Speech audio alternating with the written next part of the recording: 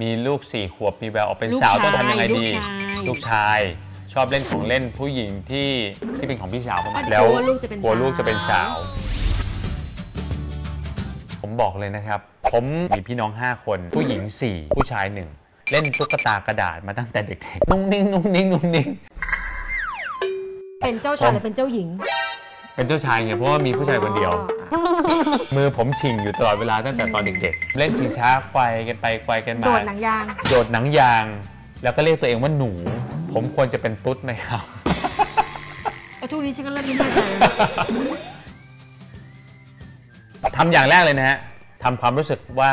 นี่คือลูกเรา ปกติ ไม่ว่าเขาจะเป็นแบบไหนขเราคือไม่มลูองก เอาเพศเป็นหลักละกัน อืมอืมเรามองที่คนคนหนึ่งอะครับ อย่างนั้นดีกว่า สมมติถ้าเขามีใจที่เขาอยากจะเป็นนะ อืม ต่อให้เราพยายามจะเอาหุ่นยนต์แล้วเขาเล่นก็จริง แต่ว่าลึกๆเขาไม่ได้เป็นในตัวตนแบบนั้นอะมันไม่มีอะไรเปลี่ยนได้ เราเองก็มีลูกชายตั้ง 3 คน เฮ้ย ลูกชายเราถ้าเกิดไม่เป็นผู้ชายขึ้นมา คนนี้จะรู้สึกยังไง ดูหน้าดิ ชิลมาก เอาจริงๆนะเรื่องนี้ไม่ไม่ใช่เสียเรื่อหางยเสียหาย ไม่เสียหาย เราอยากเห็นความสุขในในแบบตัวตนที่เขาเป็น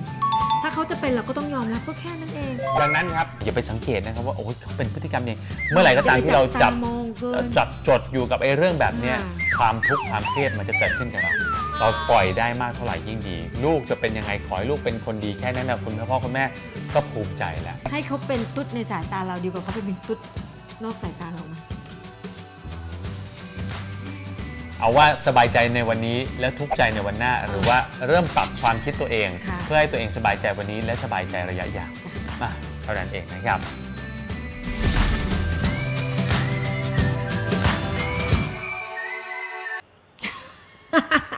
อะไรเล่า แล้วสำหรับคนที่อยากจะติดตามนะคะ อันนี้เนี่ยเนี่ยกดไลค์เอ้ยอยากกดดูก็กด subscribe แล้วกัน แค่นั้นแหละ พอมานานไม่มีคริสลี่นะครับค่ะ